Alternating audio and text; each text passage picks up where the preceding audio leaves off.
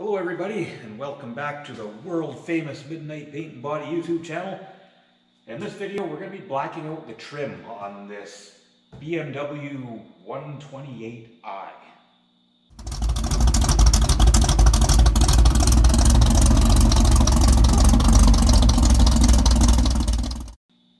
So this car in question here um, actually belongs to my daughter. Um, I call it the Barbie car, I think it's suiting. Um, so yeah, she wants the stainless trim painted in a, a, trim black. She's added the black wheels already and black marker lights. She just kind of wants that look, I guess. So we're gonna go ahead and get that painted up. So first thing with anything like that, some good wax and grease remover. Wax on, wax off. So I have no doubt this car has had all kinds of cleaning products used on it. So you can't have any of that on there or your paint is gonna fail. So obviously that's the first step. I'm just gonna get it nice and clean. So next step, I'm just gonna run uh, the first mask around all the edges and then we'll cover the car up and roll from there. Good quality automotive masking tape. And you might be inclined to think that it'd be better to take all the trim off to paint. And you're right, that would do a better job. But typically with this kind of stuff, it's not made to come off. It's not coming off without getting all bent and kinked and messed up. So keep that in mind if you decide you're gonna try that.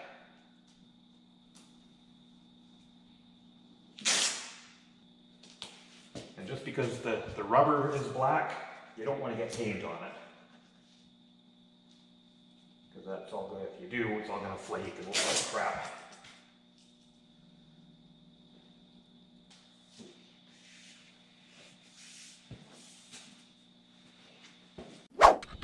So there's the first mask on there. I'll just bring you guys in for a quick look. So obviously you want it all nice and tight, but not over masked. Right, so next we're gonna just toss a plastic over it.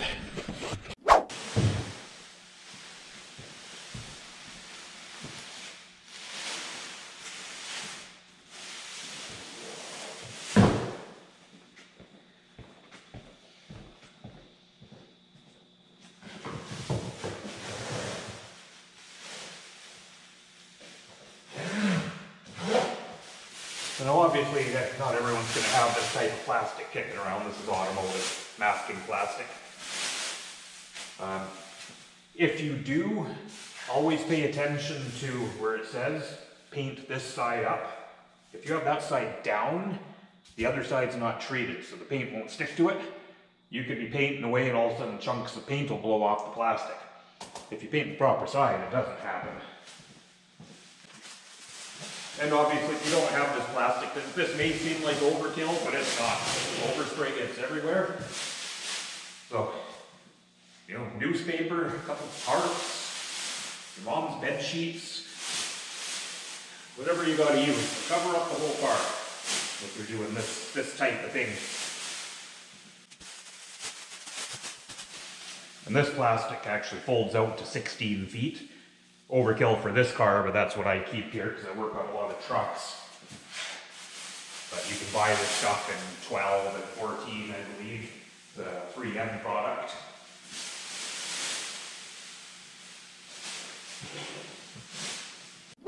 So next I'm just going to cut out this area where we're going to be painting. So nice sharp razor blade and a fine touch on that tape.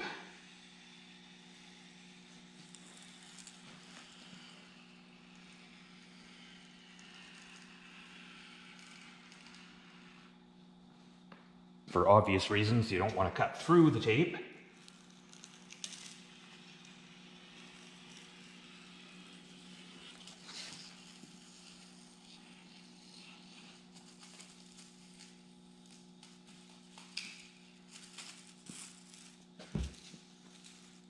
And that's why I tape first. it is some extra materials. And you know, this, I mean, you get what you pay for, for sure, like this automotive masking tape. You know, I buy it by the case, but this stuff is like six, seven bucks a roll, so it's, it's not cheap, but it's, you know, you don't want to be doing this with dollar store masking tape. Hey, and this is one time I can actually say, if I don't get this car done for the big show, I'm going to lose the whole shop. It's actually Friday today. I'm taking the day off because it's Canada Day, so happy Canada Day. Um, but I guess there's a car show on Sunday. More of the, the younger crowd with these type of cars. So her, her and her friends are taking their cars down, I guess. So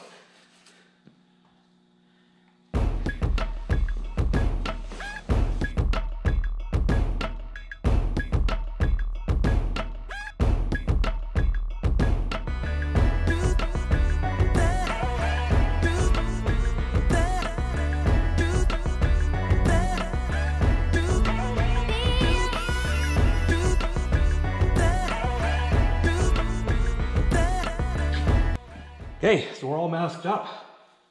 So now, this step, very important. Now, this is a 3M Scotch-Brite pad, a sanding pad. Now, this stuff has to be sanded. If you just put paint right over that shiny stainless, it's just gonna flake off. You know, any little thing that hits it is gonna knock it off of there. You go to the car wash, use the pressure washer, you're gonna blow all the paint off. So it doesn't need a lot. It just needs that little bit of a tooth for the paint to adhere to. And edges are the most important.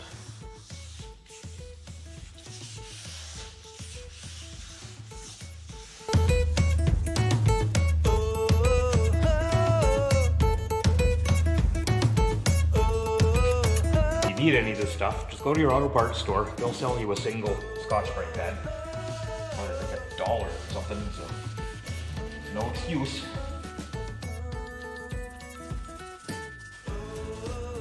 Oh, last step before paint, we're just gonna give everything a quick wipe with a tack cloth.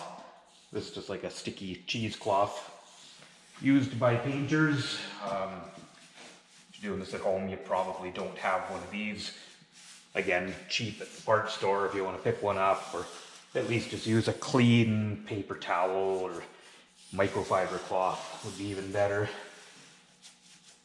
Just to make sure you got no final dust specks sitting on there. All right, paint time. So I'm going to be using this SEM Products Trim Black. So this is meant to match automotive trim.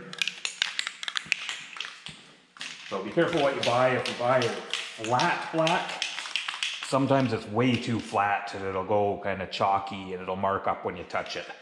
So again, use a good quality paint.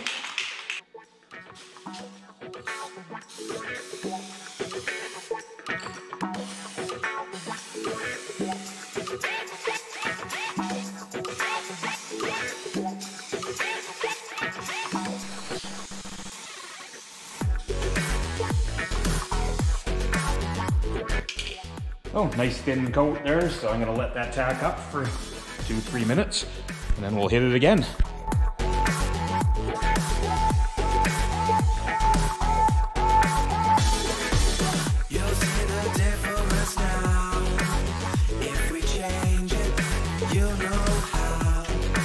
So that's the third coat on, so we've got good coverage there now, so I think that's gonna be good. Uh, and remember with paint, thicker isn't better. Um, just go until you know you've got good coverage, it's nice and even. We'll let that dry and make sure there's no streaking or anything. But uh, yeah, we'll come back in a few minutes and if it's all good, we'll probably be able to unmask it because this stuff dries fast.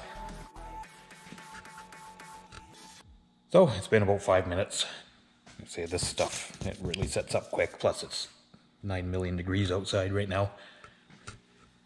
So you can see this trim black, it has a nice, nice sheen to it. It's more like a satin than a flat. So you see that's where a good quality paint makes a big difference. You see we're still a bit shiny here, so not quite dry.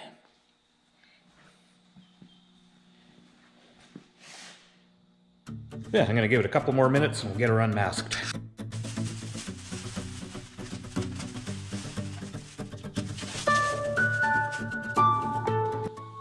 So when you're unmasking paint, you want to peel away from the paint whenever you can.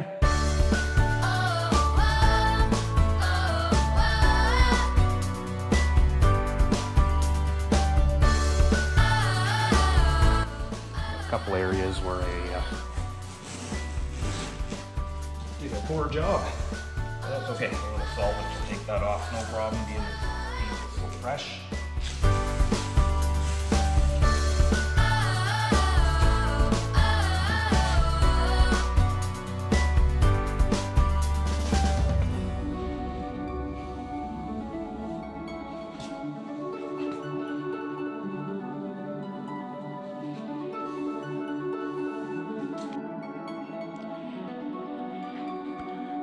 So there she is, all unmasked. So as you can see, using the correct trim paint, it's got a nice sheen, it's got a really nice finish. I'm using a quality paint. You know, it, it looks like it's factory, it doesn't look like it's been altered. So I think it looks pretty darn good.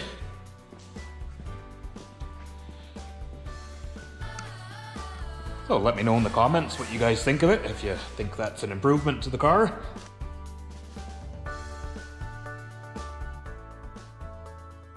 And as always, I just hope that helps some guys out with the projects. Maybe you might want to tackle something like that. And if you have any questions or comments, throw them down there and uh, you know, I try and answer everybody. And if you haven't already, subscribe to the channel. It's free. Anyway, thanks for watching guys. I hope you come back for the next video. You never know what it'll be.